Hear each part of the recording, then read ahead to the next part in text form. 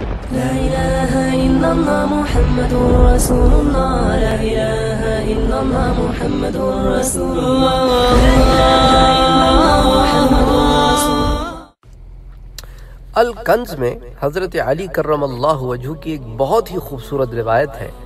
الکنز کی جلد نمبر پانچ پر، صفحہ نمبر 654 اور 656 پر آتی ہے۔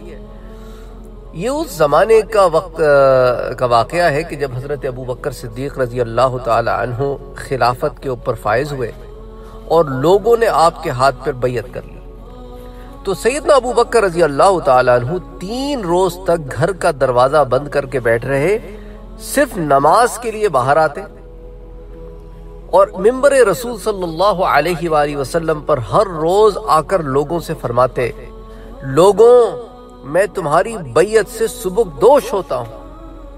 میں ریزائن کرتا ہوں۔ جو تم نے میرے ہاتھ میں بیعت کی، خلافت کی، یہ بار بہت بھاری بار ہے۔ تم ایسا کرو، کسی ایسے شخص کے ہاتھ پر بیعت کر لو جس سے تمہیں محبت ہو۔ یعنی تم تم مجھے اسے مجھ سے افضل سمجھتے ہو، اس کے ہاتھ پر بیعت کر لو۔ وہ زیادہ حقدار ہوگا۔ تو حضرت علی کرم اللہ وجہ فوراً اٹھتے۔ اور کہتے کہ ایسا نہیں ہو سکتا، خدا کی قسم، نہ ہم آپ رضی اللہ تعالیٰ عنہ کو سبک دوش کریں گے اور نہ ہم آپ رضی اللہ تعالیٰ عنہ سے سبک دوش ہونے کا کہیں گے۔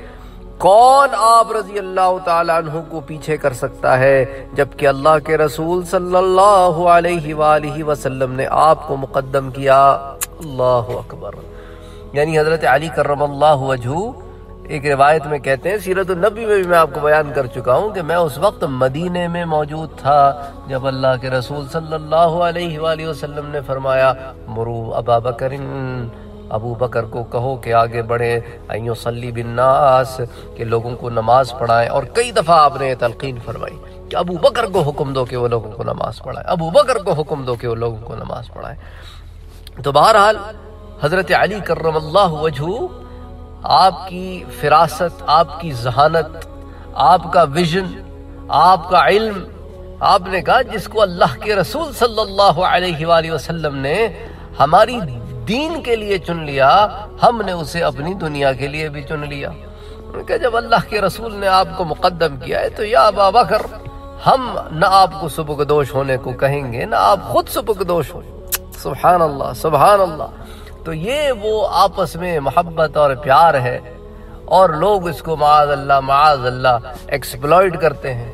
غلط روایات کا سہارا لیتے ہیں، غلط باتوں کا سہارا لیتے ہیں۔ اور اکثر ان لوگوں سے جب پوچھا جاتا ہے کہ اس کی سند لے کے آؤ تو سند بھی نہیں بیان کر پاتے، کیونکہ پیچھے ہوتا کچھ نہیں ہے نا۔ خیر، بہرحال بہت ہی خوبصورت روایت زمین میں۔ الکنز میں آتی ہے جو آج آپ کے سامنے ہم نے جمع فرمائی اور سیرت نبی صلی اللہ علیہ وسلم میں تو بڑی تفصیل کے ساتھ اس پر بات ہوئی ہے۔